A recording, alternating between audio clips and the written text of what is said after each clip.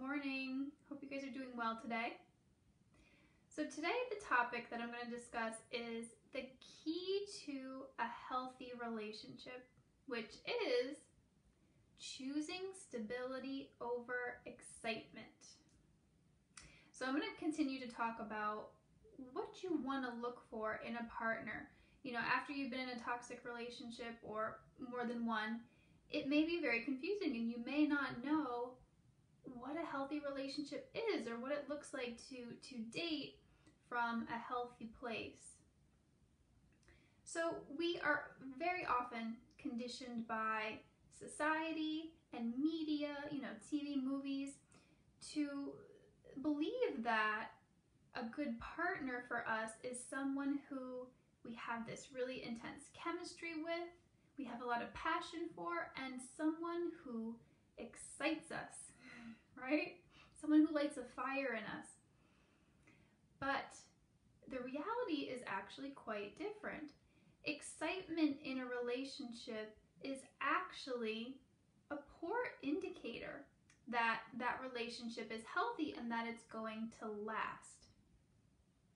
So like if you ask people that have been together for many, many years and they have a good, healthy relationship, what keeps them together, usually, like across the board, they are not talking about excitement, right? They're not saying that, oh, what, has kept this marriage going for 30, 40 years is the excitement we feel for each other on a daily basis. They don't say that. what they say is what keeps us together is the comfort I feel with this person, the security I feel with my partner. This is a safe place for me to come home to. I feel loved and cared for and appreciated. So this is kind of a, um, a dynamic change here. They are not talking about excitement as something that sustains a relationship. And when you think about it, this makes sense. Excitement is for the most part short-lived. It's a temporary emotion. It's difficult to sustain excitement long-term. So if your relationship is built on excitement, that isn't very much to, to build on. Okay? It won't sustain you. And you know, a lot of times, like I talked about this in my previous video when I discussed looking for chemistry and how that's also not um, a thing that you want to look for primarily when you're going out there and, and trying to find a partner. Um, excitement can actually sometimes be an indicator that this is not the right relationship. It can mean that your nervous system is being stimulated, you know, like you're getting highly, highly um, emotional and there's a lot of chemicals going on in your body. And this could indicate that this is not a safe situation with your partner. Sometimes our unconscious can pick up on things that we're not consciously aware of, and unconsciously we're picking up on a lot of signals that this person isn't secure, this relationship is not secure, this person is not right for us. Um, so yes, it can actually, excitement, high levels of excitement in a relationship can mean that this is not a good person for you. So what you want to look for is security,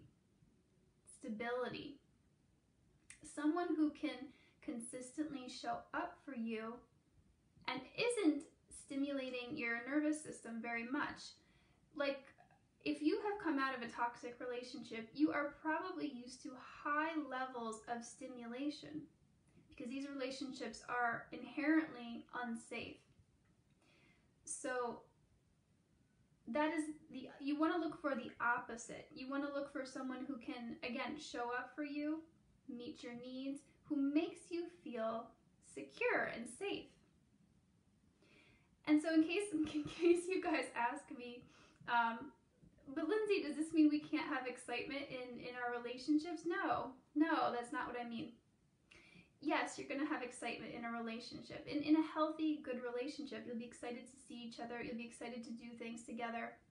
But what I'm talking about here is not making excitement one of the things that you're looking for in a person. Like having excitement be the main determining factor. So, so I hope this is making sense. What I'm saying is don't go out there with the aim of looking for someone who primarily excites you. Because that's not going to be a good indicator of someone who's good for you long term. Okay?